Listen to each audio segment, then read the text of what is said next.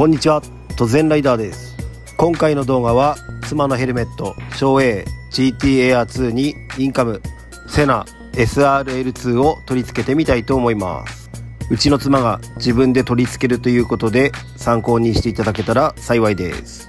SRL2 はセナ 20S の機能を持つインターコムとなっており GT エア2や J クルーズ2など適合したヘルメットにぴったりと収まるデザインとなっております。それでは箱を開けてみます。こんにちは。保証書が入っていましたね。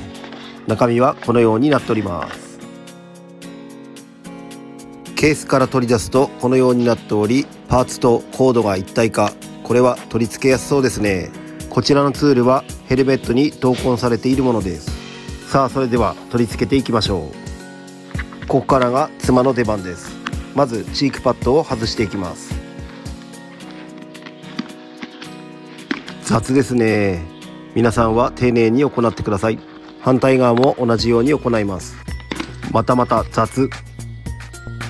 続いてイヤーパッドを外していきます。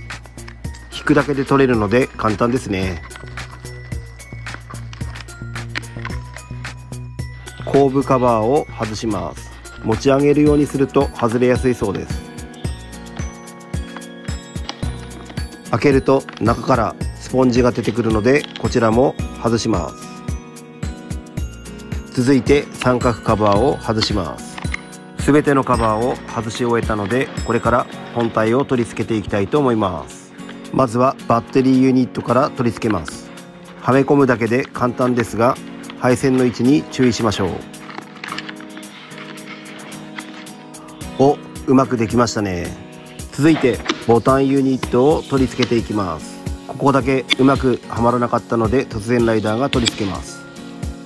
スピーカーの配線をつなぎます。スピーカーユニットを取り付けていきます。配線の位置を合わせながら押し込みます。反対側も同じように行います。しっかりと音がするまで押し込んでください。マイクの取り付けになりますがこちらも配線の位置を合わせてから取り付けましょう。余った配線の処理を行います。ペラを使ってはめ込んでいきます。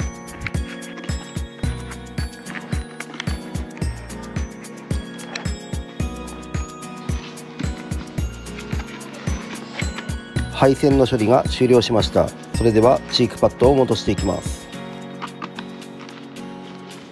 取り付け完了しました。出来栄えはいかに？省エ GT エア2にセナ SRL2 装着完了しました。うちの妻でも簡単に取り付けてきましたね。しかしこのすっきりとしたデザイン素晴らしいですね。配線の処理もこのように綺麗に出来上がりました。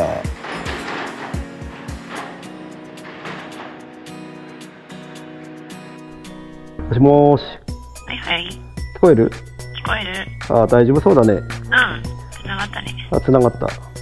突然ライダーのインカムはデイトナの DT01 妻はセダの SRL2 大丈夫そうですね。聞こえる？はい。OK でした。はい。今回の動画は妻がインカムを取り付けるという内容となりました。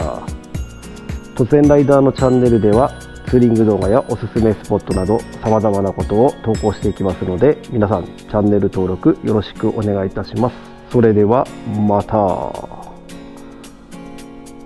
ろしくお願いします。最後まで動画ご視聴ありがとうございました。高評価とチャンネル登録よろしくお願いします